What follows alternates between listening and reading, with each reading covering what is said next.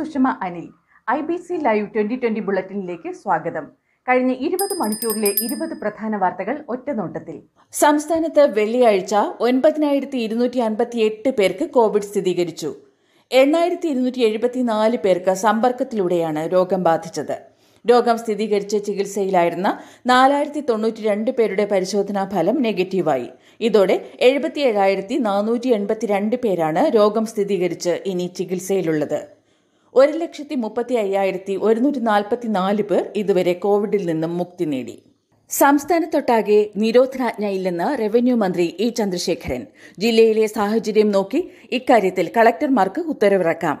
ആരാധനാലയങ്ങളുടെ ഇളവുകളിലും കളക്ടർക്ക് വ്യക്തത വരുത്താമെന്നും മന്ത്രി പറഞ്ഞു. അതേസമയം പാർക്കിലും ബീച്ചിലും ആൾക്കൂട്ടം അനുവദിക്കില്ലെന്ന് ഡിജിപി വ്യക്തമാക്കിയിട്ടുണ്ട്. സംസ്ഥാന സർക്കാർ പ്രഖ്യാപിച്ച നിരോധനാജ്ഞ കോൺഗ്രസിന് ലംഘിക്കേണ്ടി വരുമെന്ന് കെ മുരളീധരൻ. കണ്ടെയ്ൻമെന്റ് സോൺ അല്ലാത്തിടത്ത് നൂറ്റി നാൽപ്പത്തിനാല് പ്രഖ്യാപിക്കാൻ സർക്കാരിന് അവകാശമില്ല. സമരങ്ങൾ ഇല്ലായ്മ ചെയ്യാനുള്ള സർക്കാരിന്റെ ഗൂഢശ്രമമാണ് ഇതെന്നും മുരളീധരൻ കുറ്റപ്പെടുത്തി. സന്തോഷ് ഈപ്പന്റെ വെളിപ്പെടുത്തലിൽ ഗൂഢാലോചന ഉണ്ടായെന്ന് അറിയില്ലെന്നും കോൺസുലേറ്റിലെ ചടങ്ങിൽ നറുക്കെടുപ്പിലെ വിജയികൾക്ക് മൊബൈൽ ഫോൺ അവരുടെ അഭ്യർത്ഥന പ്രകാരം സമ്മാനമായി നൽകുക മാത്രമാണ് ചെയ്തതെന്നും പ്രതിപക്ഷ നേതാവ് പറഞ്ഞു. ലോക്ഡൌൺ കാലത്തിന് മുൻപും ശേഷവുമുള്ള ബിൽ കുടിശ്ശിക അടയ്ക്കാത്തവരുടെ വൈദ്യുതി വിച്ഛേദിക്കുമെന്ന് കെ എസ് പല ഉപയോക്താക്കളും ലോക്ക്ഡൌൺ കാലയളവിന് മുൻപും അതിനുശേഷവും ബില്ലുകൾ അടയ്ക്കാത്തത് ബോർഡിനെ സാമ്പത്തികമായി പ്രതിസന്ധിയിലാക്കുന്നതായി ചൂണ്ടിക്കാട്ടിയാണ് നടപടി.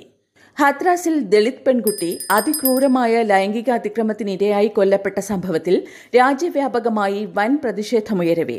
അലഹബാദ് ഹൈക്കോടതി കൈക്കൊണ്ട നിലപാടിൽ പ്രതീക്ഷ പ്രകടിപ്പിച്ച് ഉത്തർപ്രദേശ് കോൺഗ്രസ് ജനറൽ സെക്രട്ടറി പ്രിയങ്ക ഗാന്ധി. അലഹബാദ് ഹൈക്കോടതിയുടെ ഇടപെടൽ ശക്തമായതും പ്രതീക്ഷ നൽകുന്നതുമാണെന്ന് പ്രിയങ്ക ഗാന്ധി പറഞ്ഞു. കന്യാസ്ത്രീയെ ബലാത്സംഗം ചെയ്ത കേസിലെ പ്രതിപട്ടികയിൽ നിന്ന് ഒഴിവാക്കണമെന്ന ആവശ്യം തള്ളിയ ഉത്തരവ് പുനഃപരിശോധിക്കണമെന്ന് ആവശ്യപ്പെട്ട് ബിഷപ്പ് ഫ്രാങ്കോ മുളയ്ക്കൽ സുപ്രീംകോടതിയെ സമീപിച്ചു. പുനഃപരിശോധനാ ഹർജി തുറന്ന കോടതിയിൽ കേൾക്കണമെന്നും ആവശ്യപ്പെട്ടുള്ള അപേക്ഷയും സമർപ്പിച്ചിട്ടുണ്ട്. രാജ്യത്ത് കാലവർഷം ഔദ്യോഗികമായി അവസാനിച്ചു. സംസ്ഥാനത്തും രാജ്യത്താകെയും പ്രതീക്ഷിച്ചതിനേക്കാൾ അധികം മഴയാണ് ഇത്തവണ ലഭിച്ചത്. കേരളത്തിൽ ഒൻപത് ശതമാനം അധിക മഴയ്ക്കൊപ്പം സെപ്റ്റംബർ മഴയിൽ റെക്കോർഡ് സൃഷ്ടിച്ചുമാണ് കാലവർഷം പിൻവാങ്ങുന്നത്. കെ. മുരളീധരന്റെയും ബെന്നി ബെഹന്നാന്റെയും രാജിക്ക് പിന്നാലെ കോൺഗ്രസിൽ വാക്പോര് തുടരുകയാണ്. വാർത്താ സമ്മേളനം വിളിച്ച് യു ഡി എഫ് കൺവീനർ സ്ഥാനം രാജിവെച്ച ബെന്നി ബെഹനാനെതിരെ അജയ് തറയിൽ രംഗത്തെത്തി. നവരാത്രി ദീപാവലി ആഘോഷത്തോടനുബന്ധിച്ച് കൂടുതൽ ട്രെയിനുകൾ സർവീസ് നടത്തുമെന്ന് ഇന്ത്യൻ റെയിൽവേ. ഒക്ടോബർ പതിനഞ്ച് മുതൽ നവംബർ മുപ്പത് വരെയുള്ള ഉത്സവ സീസണിൽ ഇരുന്നൂറ് ട്രെയിനുകൾ കൂടി അധികമായി സർവീസ് നടത്തും. കൊറോണ പ്രതിരോധം കളക്ടറുടെ പേരിൽ പ്രചരിക്കുന്നത് വ്യാജ സന്ദേശം. സന്ദേശം സമൂഹ മാധ്യമങ്ങളിൽ പങ്കുവച്ചത് ലക്ഷങ്ങൾ. വയനാട് കളക്ടറുടേതെന്ന പേരിലാണ് വ്യാജ സന്ദേശം പ്രചരിക്കുന്നത്. ജില്ലാ കളക്ടർ അദീല അബ്ദുള്ള ഈ ശബ്ദ സന്ദേശം വ്യാജമാണെന്ന് വ്യക്തമാക്കിയിട്ടുണ്ട്. അമേരിക്കൻ പ്രസിഡന്റ് ഡൊണാൾഡ് ട്രംപിന് കൊറോണ സ്ഥിരീകരിച്ചതോടെ ഓഹരി വിപണികൾ കൂപ്പുകുത്തുന്നു. ട്രംപിന് കൊറോണ സ്ഥിരീകരിച്ചതിനെ തുടർന്നാണ് ആഗോള വിപണിയിൽ ഇടിവ് ഉണ്ടായത്.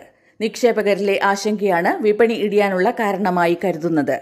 ദുബായിലെ ജുമൈറ ബീച്ച് റെസിഡൻസിന് സമീപം ഒരു ബോട്ടിനെ തീപിടിച്ചു. പൊള്ളലേറ്റ ഒരാളെ ഉടൻ തന്നെ ആശുപത്രിയിലേക്ക് മാറ്റി.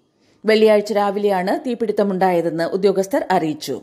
നേപ്പാളിൽ ശ്രീരാമന്റെ പേരിൽ ക്ഷേത്രം നിർമ്മിക്കാൻ ഒരുങ്ങുന്നു. അയോധ്യാപുരി എന്ന പേരിലാണ് നാൽപ്പത് ഏക്കർ ഭൂമി ക്ഷേത്ര നിർമ്മാണത്തിനായി ഭരണകൂടം അനുവദിച്ചിരിക്കുന്നത്. I B C live twenty twenty bulletin സമാപിക്കുന്നു. കൂടുതൽ വാർത്തകൾക്കും വിശേഷങ്ങൾക്കും ഞങ്ങളുടെ വെബ്സൈറ്റ് യൂട്യൂബ് ഫേസ്ബുക്ക് പേജ് എന്നിവ സന്ദർശിക്കുക. ഇനി ഞങ്ങളുടെ ഔട്ട്ഡോർ സെഗ്മെന്റ് കാണാം. ശുഭരാത്രി.